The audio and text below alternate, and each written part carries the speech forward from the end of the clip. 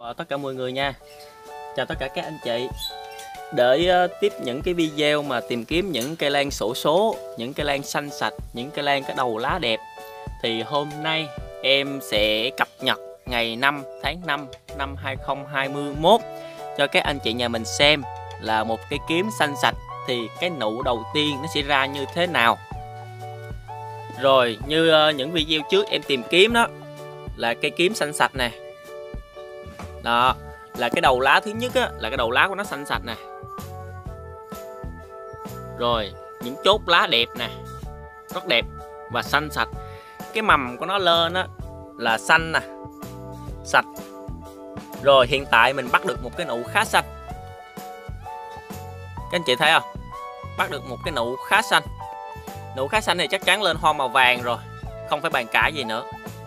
Còn cái lưỡi thôi lưỡi hồng nữa thì y bài như cây này, ba tép tưới hồng nữa. Cái là cái khuôn của nó không giống cây nào ra cây nào. Thì chắc chắn mình tự đặt tên, bởi vì cây mình tìm kiếm số số từ rừng về mà. Mình sẽ tự đặt tên cho nó thôi. Đó. Để nối tiếp những cái video trước, các anh chị nào mà xem là những cái video trước á, em trồng á, thì các anh chị có thể à, like video, ủng hộ kênh ờ, đăng ký kênh và nhấn nút theo dõi để theo dõi những cái video em làm tiếp theo à, em chơi cũng có một thời gian khá là lâu và em làm cập nhật thường xuyên cho các anh chị chứ nhiều lúc em cũng không có lăng tăng à, ờ, em chỉ nói vậy thôi chứ ờ, có có đụng chạm tới anh chị nào thì cũng bỏ qua.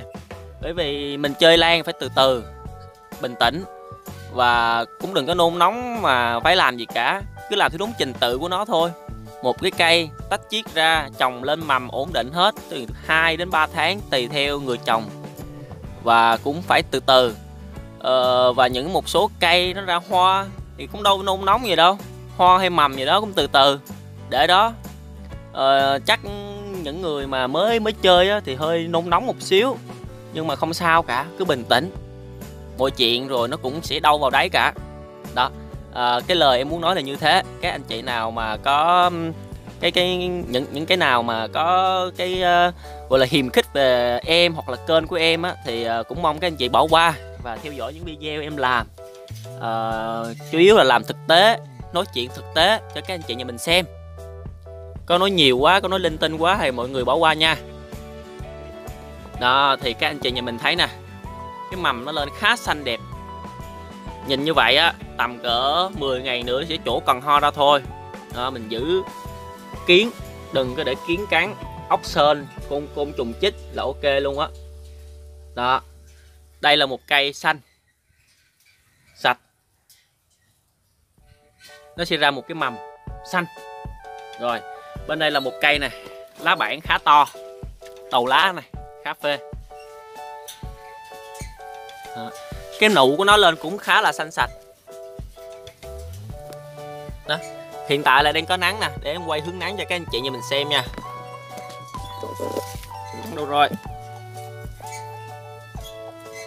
Đó. Cái nụ nó lên khá là xanh luôn. Một cây à, không giống ai cả nhưng mà bị lỗi là do mưa. Động nước nhiễm khuẩn.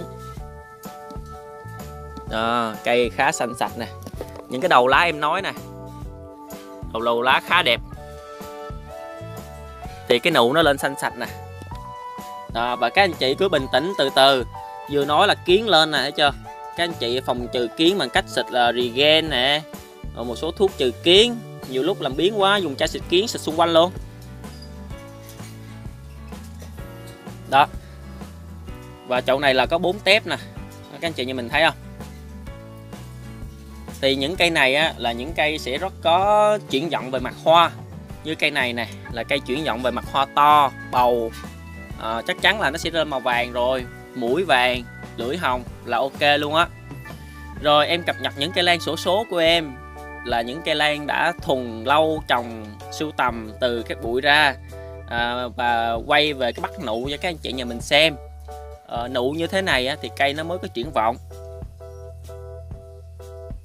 rồi, thân chào tất cả mọi người đã đến xem với clip hôm nay nha. Mọi người mà có thích những cái video em nói chuyện chân thật à, về những cái video thực tế, chia sẻ thực tế Thì mọi người đăng ký ủng hộ kênh.